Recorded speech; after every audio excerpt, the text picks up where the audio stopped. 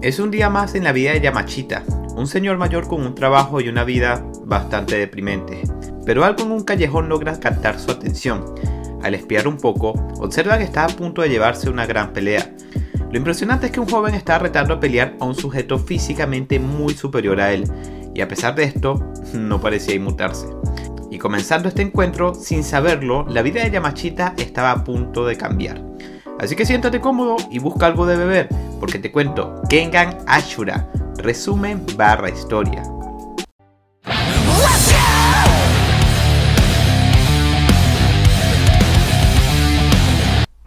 El evento se reanudaría y el joven con un despliegue de habilidades le rompe la nariz al sujeto, le disloca el brazo y lo termina noqueando.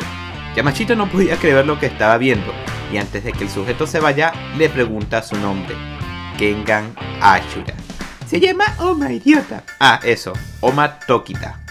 Yamachita no podía creer lo que había visto, tal batalla lo había dejado lleno de frenesí, así que extasiado se va donde las cariñosas a descargarse.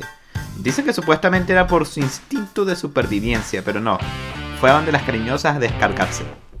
Al día siguiente pensó que todo esto ya había terminado, y en su deprimente empleo, el jefe de la compañía solicita su asistencia. El dueño de la compañía, Hideki, sin más relevancia, le cuenta lo que es un torneo Kengan, después de la era Edo en Japón, que siempre se menciona en diferentes animes esta era por ciento, una era que en síntesis marcó un antes y después en la cultura de Japón, ya que previo a esta había muchos conflictos internos. Sin embargo, este mencionó que pese a no haber tantos conflictos ya, igualmente las empresas competían por ser los proveedores del Palacio Imperial, y para esto se crearon peleas clandestinas, donde los empresarios pagaban a gladiadores que los representaran, y si este ganaba el desafío, también ganaba el derecho a ser los proveedores oficiales del gobierno, lo que se traduce a...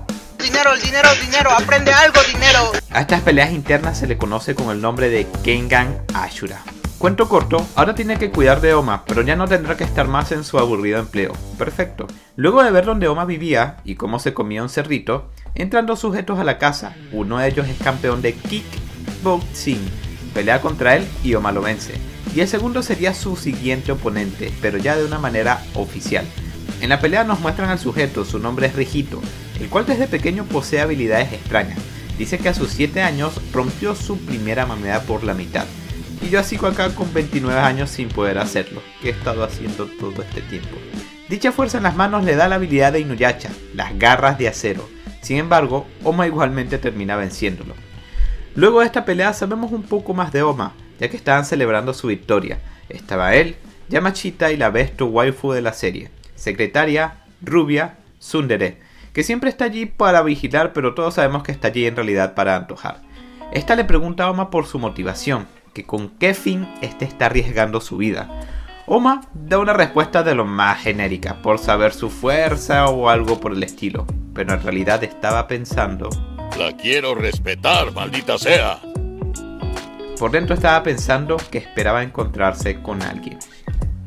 El cual vemos un sujeto en la siguiente escena que venció a un montón de luchadores y le pide a otra empresaria, waifu y playboy millonaria que lo acepte como su luchador y esta dice pues obvio que sí, mi rey. Luego acá pasaríamos a otro encuentro con grandes apuestas. Esta vez Oma luchará contra un peleador profesional de lucha libre. La batalla estuvo bastante buena la verdad, superó mis expectativas. Además, coloca movimientos típicos de la lucha libre como la rompedora argentina. Esa escena está mala, así no es el movimiento. Tienes razón, Ardilla, le falta esto. Ahora sí, está bueno el movimiento. Oma, estando a punto de perder, libera un power-up típico de estos animes, pero debo destacar que se ve bastante genial. El efecto que le colocan como las líneas saliéndose de su estética te da una sensación de agresividad e inestabilidad, que es justamente lo que sucede en este momento. En dicho modo, Oma termina dándole una paliza al luchador.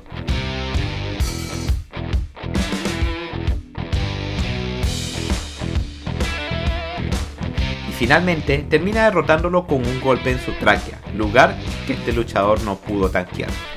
Debo decir que personalmente no me gustan los animes en 3D, pero quedan muy bien los efectos y las peleas también quedan bastante bien, las combinan bastante con el estilo en dos dimensiones y unos dibujos y artes impecables, con un estilo muy deportivo, Quedan visualmente muy buenas, al igual que las escenas de peleas no tienden a haber repeticiones de movimientos típicos del anime.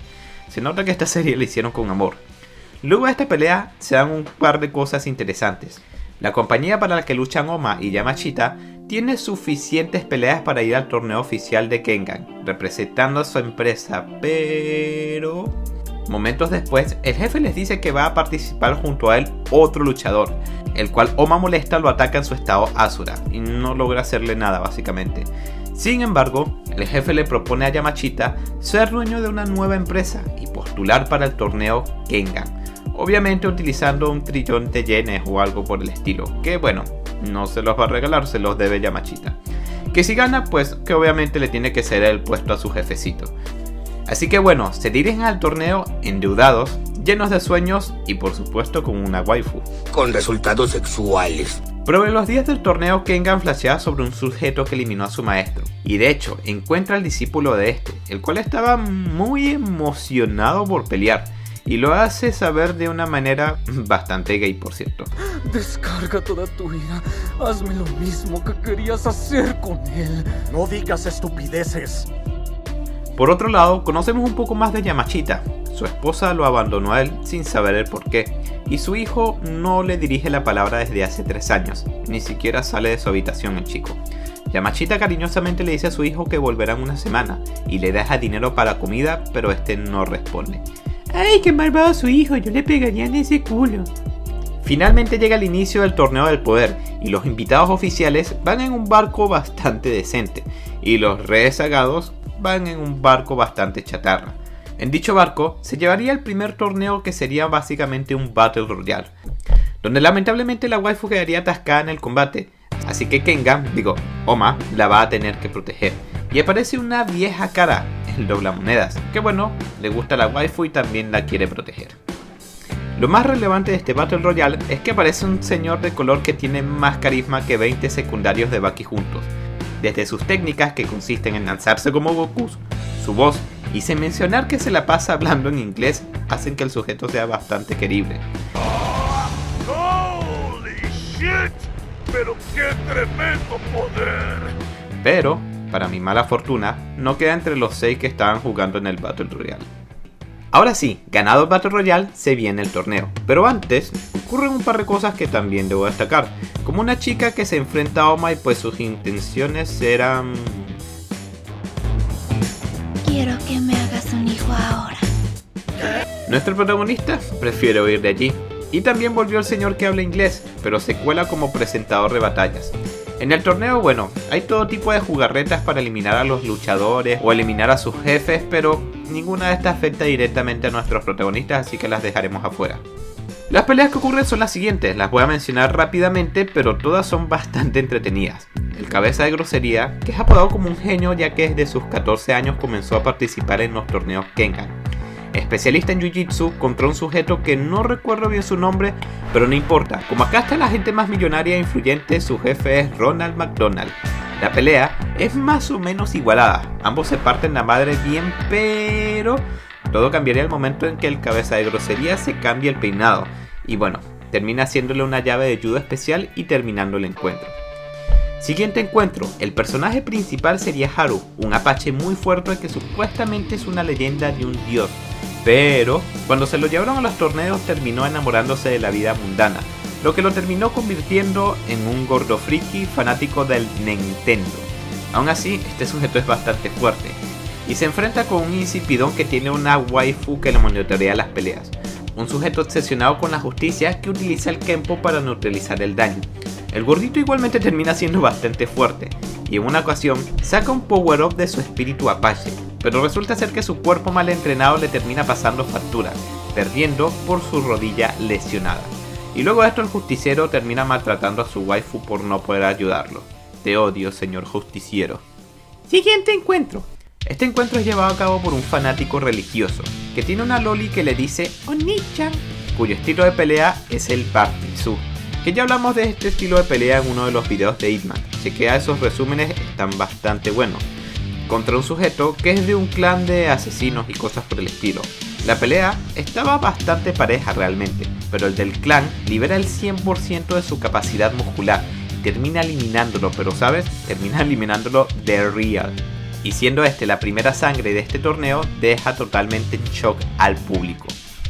Finalmente llega el turno de nuestro protagonista, el cual va a pelear contra Spider-Woman. Pero antes el dueño de la compañía, Fanaphonic, le hace una apuesta por sus 10 televisoras más importantes al viejo, y si pierde, pues estas tendrá que pagárselas. El viejo dijo, bueno, total ya estoy bastante endeudado. En realidad no lo explican, pero el tipo había entendido que eran 10 televisores, pero lo que apostó era un montón de dinero, a lo cual reacciona así.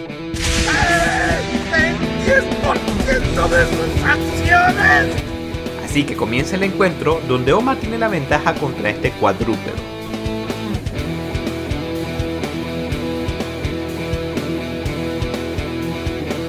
Pero la mujer araña, que en realidad es un hombre, lo amarra con su cabello, sacudiéndolo por todas partes. Nuestro protagonista recuerda las enseñanzas de su maestro y endurece su cuerpo venciendo el cabello de la araña y finalmente noqueándolo. Así que finalmente Yamachita triunfó, va a ser millonario, pero no. Oma se puso a llorar que no aceptara el dinero, que ellos no peleaban por esto o algo por el estilo, y bueno, el viejo termina apoyándolo y desperdiciando su fortuna. Luego de esto estaban en un bar y el viejo se abre y le dice a Oma que lo ve básicamente como un hijo. Y este lo trata mal diciéndole que no lo llame así. Por el amor de Dios viejo, era más importante el dinero, mira cómo te trata, abre los ojos. Claro, vemos que en realidad Oma tiene una especie de trauma o algo así parece. Y finalmente se da el último encuentro de un calvo que salió de un hentai. Digo, mira cómo dejó a las tipas de allí antes de irse a pelear contra un sujeto que es feo y todo monstruoso. Cuento corto, termina ganando el calvo, aunque le costó muchísimo la pelea. Y luego de su victoria, resulta que un doctor había revivido al evangélico. Y luego pasamos a otra escena donde este sostenía la foto de Oma, diciendo que qué lástima que alguien tan joven va a tener que morir. Y así finalizamos esta temporada. ¿Qué les pareció? Ay, a mí me gustan mucho las peleas porque tengo sangre de Saiyajin. Y la araña le hubiese cortado el pelo con mis patas. Kengan, en su estilo le daré un 8 de 10. La verdad lo disfruté bastante viéndolo. Si te gustó este video, por favor deja tu like, comenta, temporada 2 para sacarla muy pronto y que el algoritmo nos favorezca un poco. Visita la lista de reproducción donde encontrarás tus resúmenes favoritos. Y síguenos por más placer.